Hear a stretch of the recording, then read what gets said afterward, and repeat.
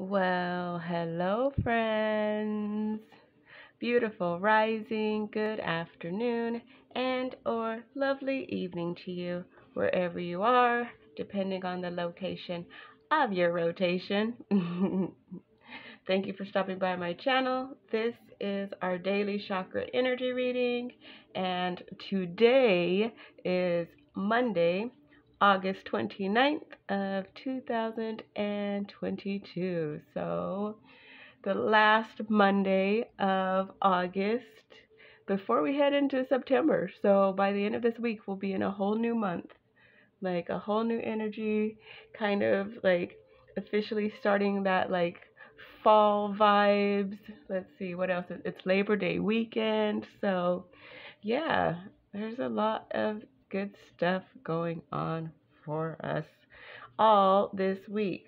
So, uh, and as a little historical, uh, well, I don't know if it's like a historical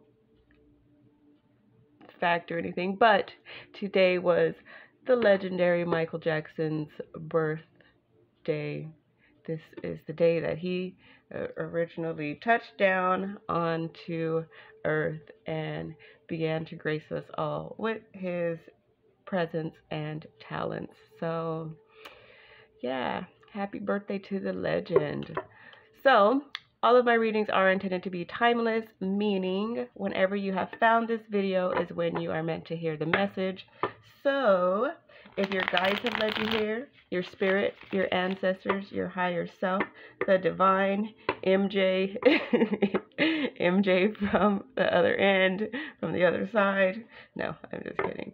Um, or if someone has shared this video with you and you decided to watch it, then there is something here for you.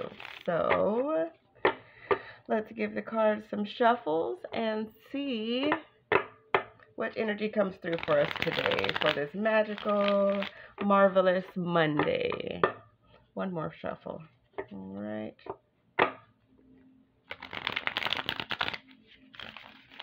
Okay, got some good shuffles in today.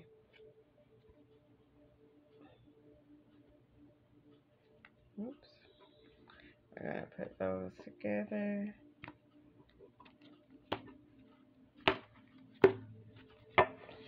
Okay. Let's see which one. Oh, there we go. We had a card fly. Let's see what we have today. Today we have the third eye chakra, Ajna. Card number 74. 74 adds up to 11. So you may see some 11s today. You may see 111. You may see 1111.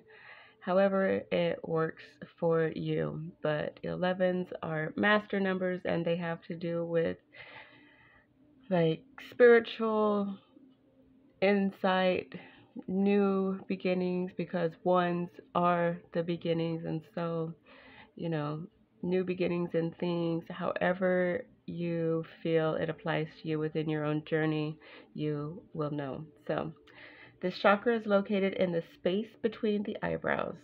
This chakra is closely associated with the pituitary gland, eyes, ears, nose, nervous system, and the brain.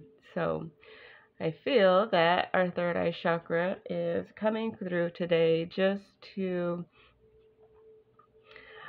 give us guidance as far as when we are using our third eye, what what physical parts are we using? So when we have so when we're using our intuition, not only are we using our obviously we're using our brain, but we're also using our nervous system in the way that we are seeing how we feel, how we feel like within our bodies.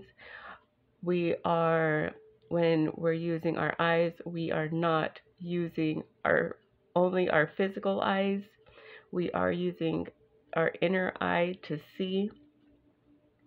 And with the ears, it's us listening for the right things and making the connections And with our nose, we could be smelling things that, you know, trigger our intuition. So, with this, I feel that it's just giving us a whole, like a well rounded way to look into our intuition because it's not just, you know, like foresight. It's maybe you can hear something that triggers your intuition. Maybe you see something and what you see triggered your intuition in a different way.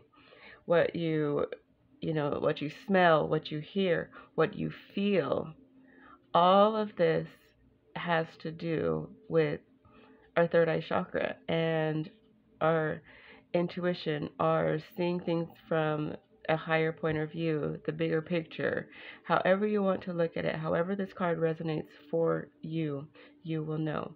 But the the chakra is located like as it says in the space between the eyebrows. So if you ever feel pressure there or if you're ever feeling like like a tingling there, I sometimes will feel tinglings there. Um, it's usually your third eye chakra. If you feel like it's anything more than that, then of course go and see your doctor or whatever. But most of the time, when our body is speaking to us, it's speaking to us for a reason. And it's not always about being in pain or anything like that. It's if we listen to our body, we will realize that every single interaction that we have on this planet with whoever it is is there for a reason. It's there to make us feel a certain way, it's there to trigger us in a certain way, whether it's for a positive or what you would observe as a negative reason. Everything is there for a reason, and it's up to us individually to use our discernment to know what we are meant to learn from, grow from, etc. So, today we're being guided to be mindful of our third eye chakra, being the being mindful of the way that the things that we see, the the things that we hear, um, you know, the things that we smell, etc. And of course, the way that we feel within our own nervous system. So, yeah, that is the message for this marvelous Monday. I hope that you all resonated with this message. And if you did, then please feel free to like the video, share the video, subscribe to the channel, and leave a comment down below if you so choose. So thank you once again for stopping by the channel. I will see you in the next one.